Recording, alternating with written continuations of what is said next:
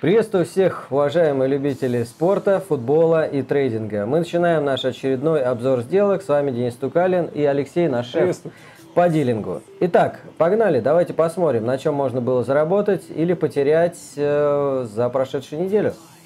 Итак, первая сделочка э, у нас э, начинается с убытков. И на самом деле неделя была не такая простая. Э, все-таки лето, все-таки у нас июль месяц – и рынок периодически засыпает в боковике, особенно акции. акции. Вот нефть, допустим, нам спать спокойно не дает, потому что там постоянно какие-то движухи. А вот акции не всегда. Бывает весь день в боковике, бывает полдня в боковике. Вот здесь мы видим, допустим, Сбербанк который находился до 16 часов фактически в боковике. Да, это чистый боковик, и здесь видно, что актив практически не двигался, немного скорректировался с открытия. И применять здесь трендовую формацию было весьма рискованно. А мы обращаем внимание на волатильность не только за последние периоды, но и на внутридневную. То есть, э, допустим, Сбербанк открывается, проходит вверх 100 пунктов, вниз 100 пунктов и э, застывает, и в этой амплитуде ходит.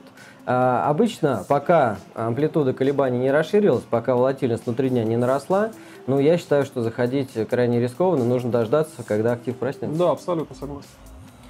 Идем далее. Здесь, в общем-то, все понятно. Э, стопы, стопы, стопы. Далее, от того же трейдера мы видим э, продолжение. И здесь тоже, смотрите, как интересно, фьючерс на доллар-рубль уже. Но очень много общего с предыдущим слайдом по Сберу, потому что актив тоже не проснулся. Да, да, первое, первое время он был в узком диапазоне. Да, посмотрите, буквально где-то а, даже Судя 150 сначала, потом 200, и только начиная с 16 часов пошло движение. Наверняка это какой-нибудь понедельник. Я вот не знаю, что было 10 число, но а, в принципе типовой понедельник а, выглядит таким образом, что первый половина дня боковичок, а потом движуха идет. Как только движение пошло, так сразу трейдер берет у нас нормальный тейк-профит. Ну, здесь надо просто выждать паузу и никогда не торопиться. Если видишь боковое движение, ну, можно сделать паузу, чай. Если вы пользуетесь программой статистики, вы можете эти паузы делать обоснованно. Вы можете посмотреть, когда у вас самое убыточное время в течение недели, и в течение даже по дням, в течение каких часов. И это время просто исключать из торговли. Пить да. Э, чай, пока не лопнет. Это настоятельно рекомендуется. Значит, э, Целее дальше будет депозит. мы видим на этой же сделке, да, как движение пошло, и трейдер, э, видимо, даже не ожидая такого сильного движения, весь день был боковик, да, он да, здесь да. тоже На закрылся рановато, да. Хотя можно было каскадом пристроить много ну, заявок. Ну, графическая цель исполнена, но по идее потенциал рынка был еще не исчерпан, и можно было держать цель дальше. Вот для этого и нужен каскад.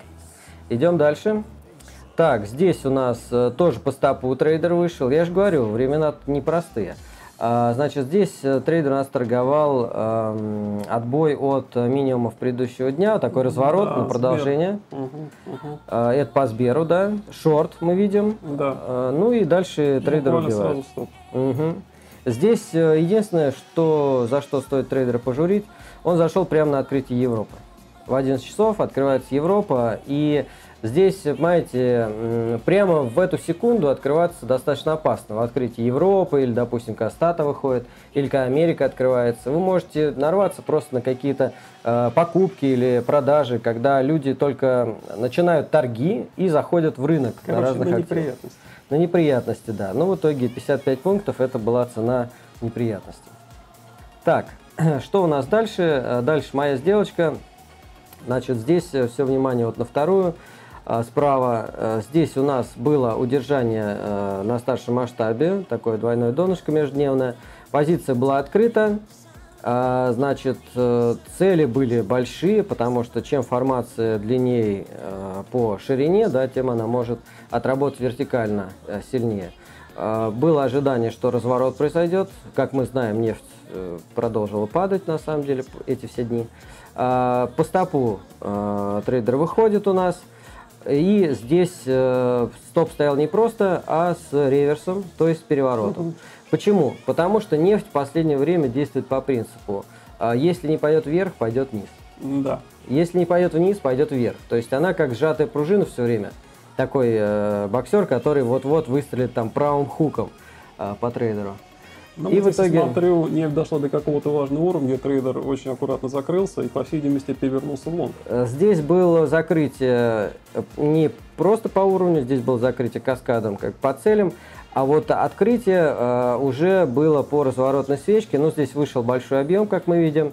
Ну, это на самом деле из старых скальперских приемов, когда так называемый объемный разворот, актив и так сильно падает, потом да, выходит суперобъем, да. Все, происходит некий полицейский разворот, и мы входим в позицию. А, ну, скажем так, здесь, наверное, самое основное, это вот было перевернуться стоп с реверсом, потому что на важном уровне цена наверняка куда-то сильно рванет. Да, аккуратно и красиво. Да, в итоге позиции вверх также закрыт каскадом, можно было подольше, но мы видим там последняя сделочка закрыта на такой разворотной. Ну, да, дальше опасно тенью. Так что, да. Первую сделку, может быть, вы где-то увидите на следующих слайдах, посмотрим. Так, э, далее. Здесь у нас э, Сбербанк. Справа у нас фьючерс, слева тоже фьючерс. Немножко шкала слева на картиночке отрезана. А вот маленькая врезка это как раз акция. Значит, здесь э, тоже моя сделка, рассказываю. Акция, которую вы видите на врезке, э, значит, э, э, достигла определенного горизонтального уровня, сузилась в узкий э, диапазон, то есть мы видим здесь на уже фьючерсе сужение происходило, uh-huh, uh-huh. с каждым часом все уже амплитуда становилась, и это опять-таки эффект пружины. Такое ощущение, что сжималась пружина длительное время. И чем дольше она сжималась, тем сильнее будет потом выстрел.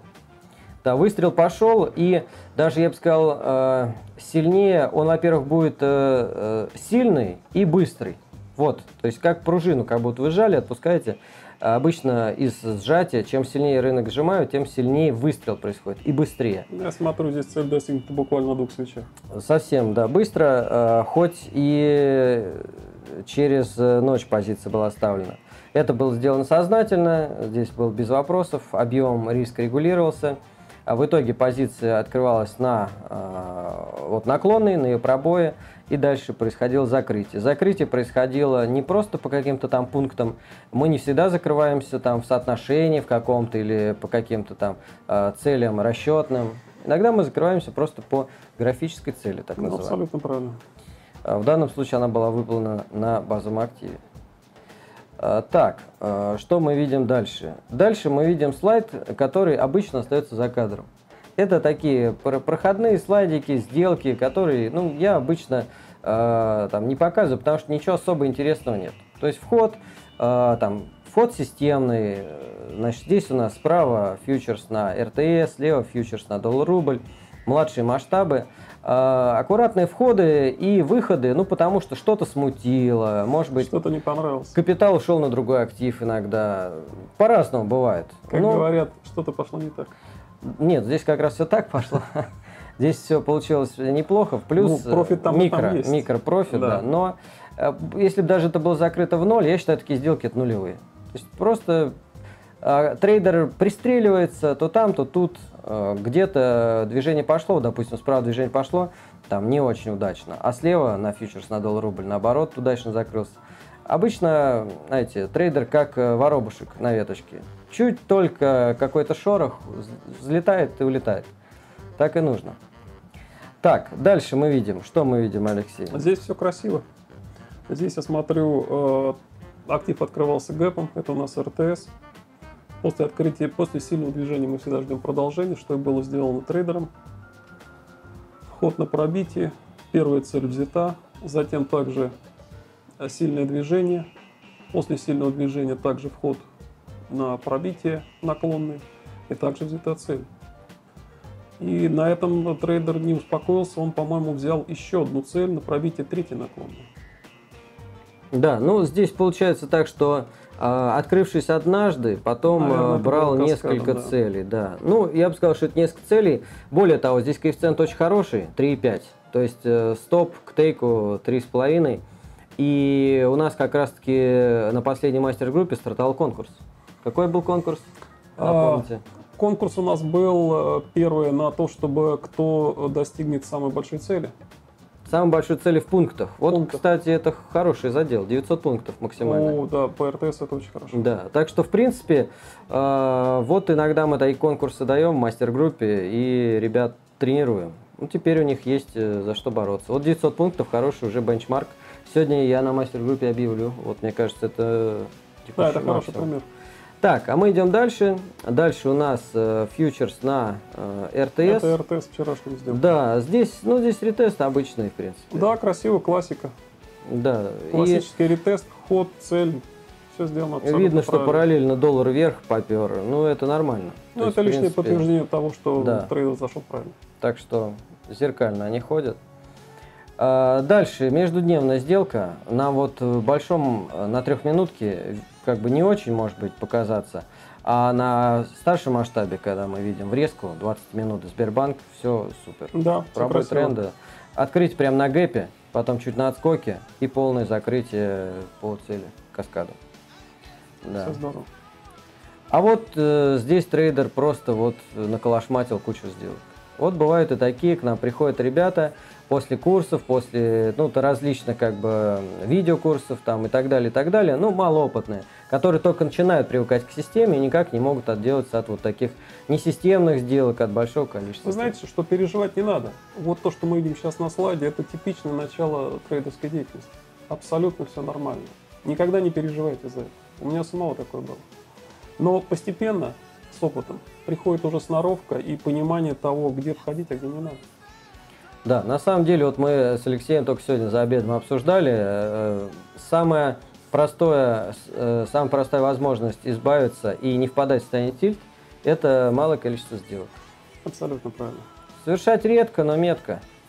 Вот как на следующем слайде нашем э, завершающем. Да, А, очень красиво. Мы видим горизонтальный уровень междудневный. Да. Дальше э, удержали. Дальше аккуратный вход. Да, с небольшим стопом. Стоп в рамках нормы, да. Сразу здесь. Да, соотношение может быть там один к двум, но никто не мешает трейдеру брать и каскадом, и как на предыдущих слайдах вы видели, бороться в нашем конкурсе за ценные призы. А у меня такое ощущение, что у этого трейдера оставались еще цели. Это он взял только первую цель. Возможно, возможно. Это РТС у нас трехминутный масштаб. Ну, все прекрасно. Горизонтальные Да, уровни, междудневные уровни очень важно. Очень важно их уметь э, искать и находить. Ну, главное для трейдера правильно сделать анализ. Время у трейдера всегда достаточно для этого. И надо просто ждать свою формацию. И не лезть в какие-то сомнительные сигналы, сомнительные сделки.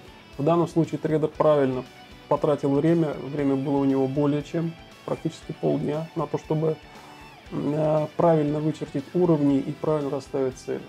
Он дождался своего сигнала и зашел. И вот результат вы видите.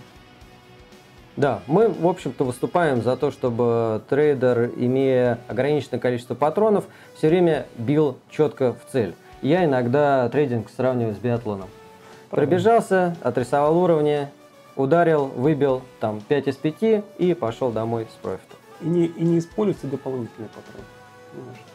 Ну что ж, э, на этом мы на сегодня заканчиваем. Э, В общем-то, как и заканчивается чемпионат мира по футболу, уже закончился. Мы, э, в общем-то, благодарим всех, кто в нем участвовал, все команды, особенно нашу команду. Конечно же, поздравляем французов, которые победили за 20 лет второй раз. Кстати, первый раз я очень хорошо помню, это начинал только чемпионат мира смотреть.